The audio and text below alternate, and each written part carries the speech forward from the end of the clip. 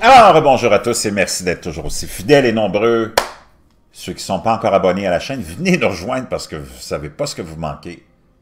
Et tous les autres, merci d'être là depuis longtemps, très longtemps, et d'autres nouvellement. Merci de votre soutien et merci de votre euh, participation, ceux qui m'envoient des liens, des messages. Et merci de votre courage aussi. J'espère que vous allez bien. On est le mardi 31 mars 2020, 17h, 17h du Québec. Je vous ai toujours dit, préparez-vous au pire. Le pire est à venir, le pire est pas loin. Je pensais jamais que ce qui se déroule se déroulerait, mais ce que je vous ai dit aussi, c'est que c'était le début seulement. Et ce qui nous attend, c'est des mois, des mois et des mois de souffrance, et même des années, ceux qui ne réalisent pas que l'économie est en train de s'effondrer, qu'on est en train d'assister non seulement à ces trois changements majeurs dont je vous parlais, climatiques, financiers et interrelations entre nations, ben là, on a aussi les 3D, la dépopulation, la déglobalisation et la dédollarisation. Et ça, ça fait partie aussi de ce même plan. Donc, il y a beaucoup de choses. Hein. Attendez-vous, vous allez avoir des années maintenant de crise. C'est une, dépression énorme qui va nous laisser des années de misère, de chômage. Aux États-Unis, les plus optimistes entrevoient un chômage à deux chiffres. J'ai même pas besoin de penser et de vous dire ce qui va arriver en Europe déjà, un continent sclérosé, comme c'est pas possible, par des politiques globalistes, mondialistes, socialistes, tu peux toutes les nommer. On n'est pas sorti de l'auberge. Et là, maintenant, ce que je voulais vous partager, et c'est vraiment important que vous soyez attentifs, c'est toujours entre les lignes qu'il faut lire. Naturellement, la crise actuelle envoie beaucoup de monde au chômage, beaucoup de monde en arrêt de travail. imaginez-vous que le gouvernement britannique vient de prévenir, et ça fait pas dix heures de ça. Et quand je vous ai dit, préparez-vous, le pire est à venir, c'est rien tout ce qui va nous attendre à partir de maintenant. Ça va vraiment dérouler rapidement. Les ménages britanniques doivent se préparer à des pannes de courant.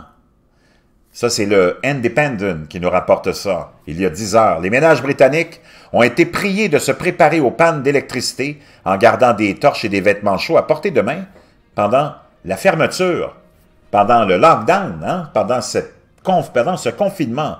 Le Daily Mail, il y a 12 heures. Une pénurie de personnel pour entraîner des pannes d'électricité. Les Britanniques ont été avertis de garder des torches et des vêtements. Les ménages ont été avertis de se préparer au blackout en gardant des torches. Le télégraphe qui nous dit « Gardez une torche !» à portée de main en cas de coupure de courant. Il y a un jour, les ménages ont été avertis de se préparer aux pannes d'électricité en gardant des torches, alors que les réseaux d'énergie se battent pour garder les lumières allumées pendant le verrouillage et le lockdown. UK Power Networks, qui possède et entretient les câbles électriques à la lettre, ajoute, il est particulièrement important de se réchauffer en cas de malaise.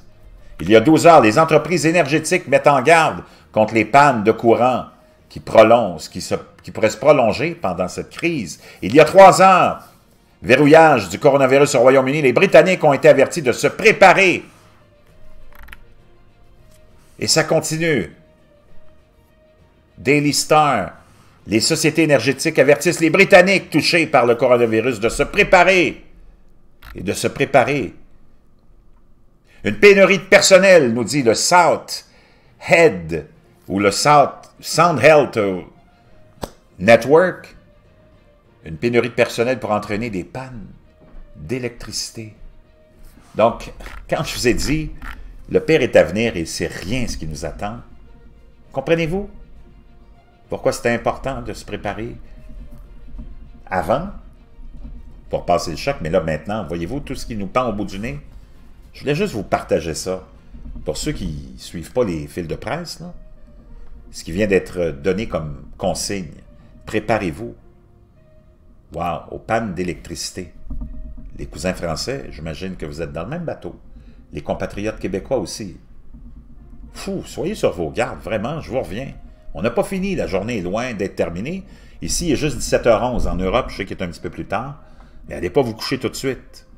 Parce que vous allez manquer ça ou vous l'aurez demain matin.